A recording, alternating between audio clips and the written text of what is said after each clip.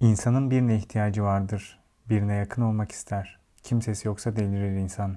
Kim olduğu hiç önemli değildir. Yeter ki yanında biri olsun. İnanın bana insan fazla yalnız kaldı mı hastalanır. Önemli olan konuşmaktır. Biriyle birlikte olmak. İşte önemli olan budur.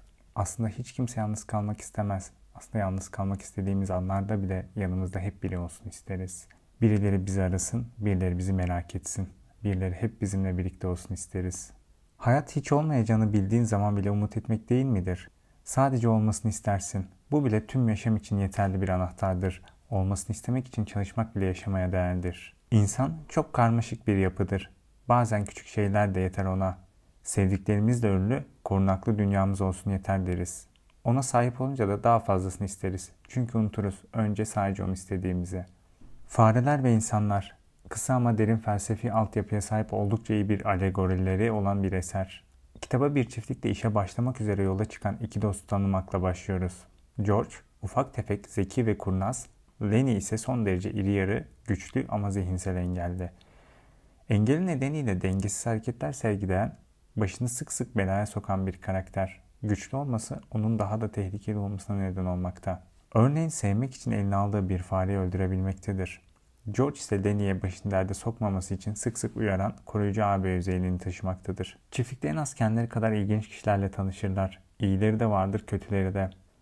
İki arkadaş ise haz etmedikleri bu ortamda çalışmak, sürekli hayalini kurdukları çiftliği alabilmek için para kazanmak zorundadırlar. Hayalleri çok değerli ama onlara oldukça uzak. Olayın geçtiği 1930'lu yılların ekonomik buhranda hemen hemen imkansız. Yine de yalnızlığın korkunçluğunu bilen iki arkadaşın bu hayali onları bir arada tutan en önemli motivasyonları. Kitapta şöyle bir alıntı geçmekte. İnsan yanında biri olmazsa delirir. Kim olduğu hiç önemli değildir. Yeter ki yanında olsun.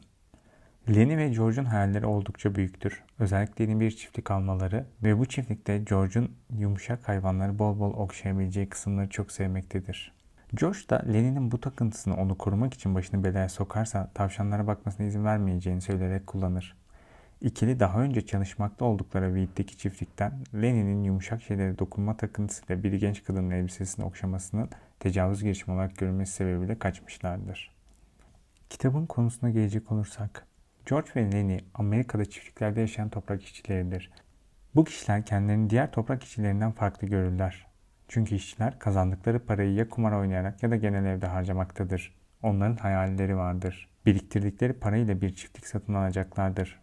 Bu çiftlikte çeşitli hayvanlar besleyecekler ve tarımla uğraşacaklardır. Şimdiye kadar gittikleri bütün çiftliklerde Lenny yüzünden kovulmuşlardır. Lenny uzun boylu, iri, güçlü bir insandır ama kafası fazla çalışmaz ve tek başına hareket etmeyen, devamlı birilerine muhtaç olan bir insandır.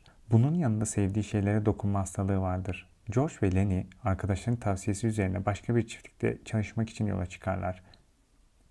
Yolda Lenny bir fare bulur ve onu eliyle okşar. Okşarken de sıkarak fareyi öldürür. George farenin kendisine faydası olmadığını ve onun atması gerektiğini söyler. Ama Lenny ona zarar vermediğini, sadece okşadığını söyler. Sonra onu zorla yolda bırakır. Lenny'nin bu huyu ileride ikisine de zarar verecektir. George bu sefer işe başlamadan Lenny'e bir uyarılarda bulunur. Çiftliğe gidince hiç konuşmaması gerektiğini, eğer çiftlikte bir olay olursa çiftliğin biraz uzağında bulunan bir gölün kıyısında saklanmasını söyler. Ama çiftlikte her şey yolunda gitmez. Ustabaşının oğlu olan Curly ve karısı iyi insanlar değildir. Curly'nin karısı çiftlikte yaşamak isteyen, zengin olmak isteyen ve kocasını sevmeyen bir insandır. Bir gün Curly'nin karısı Lenny'i tanımak ister ve yanına gider. Bu sırada çiftliktekiler oyun oynamaktadır. Curly'nin karısı ahırda köpekleri okşayan Lenny'nin yanına gider.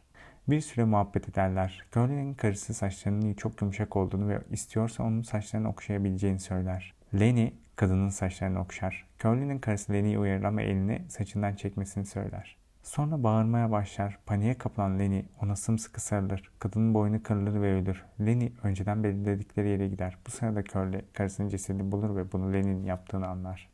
Çiftliktekiler silahlarını alırlar ve Lenny'nin peşine düşerler. George doğrudan belirledikleri yere gider. Lenny ile hayallerini düşünmeye başlarlar. Diğerlerinin sesi iyice yaklaştığı sırada George can dostu Lenny'i öldürür. Yanlarına gelen diğer adamlar Lenny'nin ölüsüyle karşılaşırlar. Sadece birisi George'un acısını bildiği için ona sokulur ve köpeği hatırlatır. Sahibi onu başkaları öldürdüğünde daha büyük acı çekmişti der. Bu işi sen yapmasaydın, körlü yapsaydı hayat boyu daha fazla çekecektin. Sen doğru olanı yaptın. Kitabımızın ana fikri hayallerimiz bizimdir. Kimse hayallerimizi yok edemez. İnsan dostlarının sonuna kadar yanında olmalı ve onu desteklemelidir. Olaylar genellikle bir çiftlikte George ve Lenny arasında geçmektedir. Bu hikayede yaşlı ve kokan köpeğin işe yaramadığı için öldürülmesinin sembolik bir anlamı vardır. Kendinin keşke köpeği ben öldürseydim sözü bu anlamı güçlendiriyor. Yani nefret değil de merhamet duygusuyla öldürmek bu kitabın en önemli alegorisi. Kitaptaki olayın İspanyolca yalnızlık anlamındaki Soledad da geçmesi, Iriera Lenin'in soyadının küçük anlamında olması, George'un soyadının ise kayıp cennet şiirinde yasak meyveyi yemek için Havva'nın Adem saptırmasını anlatan John Milton'dan gelir. Bütün bu alegorik oyunlar ve kusurlu olanın cennete ulaşamayacağı anlamını taşımaktadır. Fareler ve İnsanlar kitabı bütün hayatımızı bambaşka bir evreye taşıyan kitaplardan bir tanesidir. Okuduktan sonra insanın zihninden çıkmayacak, merhameti, nefreti ve merhametten gelen acıyı bize gösterecektir. Fareler ve İnsanlar üzerine küçük bir not. Fareler ve İnsanlar kitabının ilk taslağı yazarın köpeği Toby tarafından yenmiş ve yazar kitabını yeniden yazmak zorunda kalmıştır. İncelememi beğendiyseniz kanalıma abone olmayı, videoyu beğenmeyi ve yorum yapmayı unutmayın. Sizin bu yaptıklarınız belki 10 saniyenizi almayacak ama benim için büyük bir motivasyon kaynağı olacak. Kendinize iyi bakın.